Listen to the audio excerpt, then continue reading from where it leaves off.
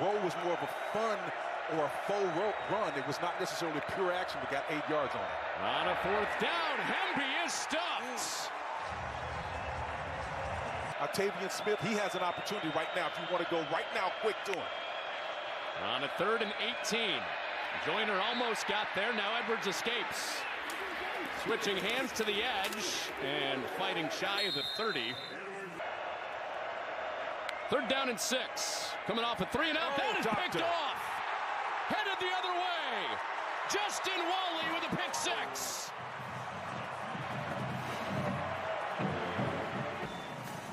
Wow, Justin Walley, one of the two voices on the back end, Ethan Robinson being the other, five and two. And they come back 32 yards a net on this return here. On a third down. Edwards escapes. Edwards tucks it and runs and fights his way near the sticks. Absolutely, but again, it's predictable and it sets the tone and speaks to his players what you're going to do. Back-to-back carries for Ray. And nothing there. Cody Lindenberg drives him back with Jack Henderson. After some Shrine Bowl running, it's second down for Edwards. Back to pass. And that is intercepted. Koi Perich has another one. They call him Coy Wonder.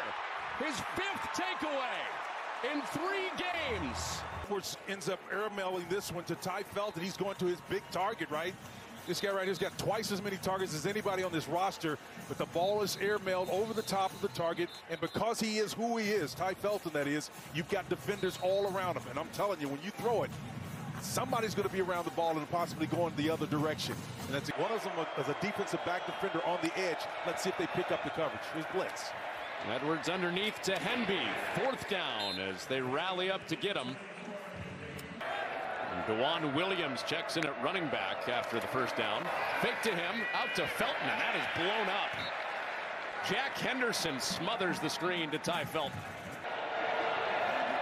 Felton down to the bottom side on third down.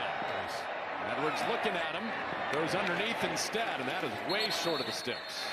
It's just a three-yard gain and fourth down and eight.